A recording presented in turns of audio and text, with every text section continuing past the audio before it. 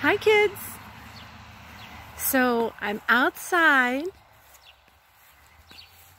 a farmhouse here and this is one of the hen houses and you can see these little chicks are trying to get in. Notice the big ladder for them to get right up in there. And so I've been here before, but there were never little chicks like this. Oh, Brody Can wants I- to say hi. hi Brody. This is Brody. Hi. Hi Brody. This is Brody's farm. She's looking at the babies right now. Brody, are those your chickens? Yes, those are your chickens. Let's have another look.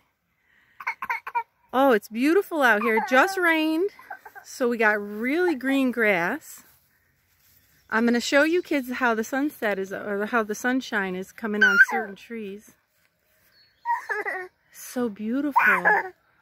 Yeah. Oh, Brody. Hi, Brody. Hi. She wants to see, she wants to come over and see these little chicks. Let's see if we can catch them around the corner. Oh, I don't want to scare them. Here they are.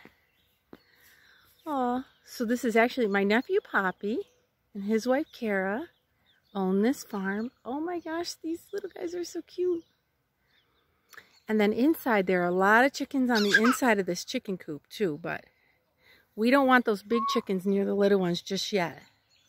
These guys are too small and they might get hurt. Aww. Well, thank you, Brody, for letting us visit your farm again. So, we'll talk to you soon. We'll see you in September. Okay, miss you kids. Bye. Bye.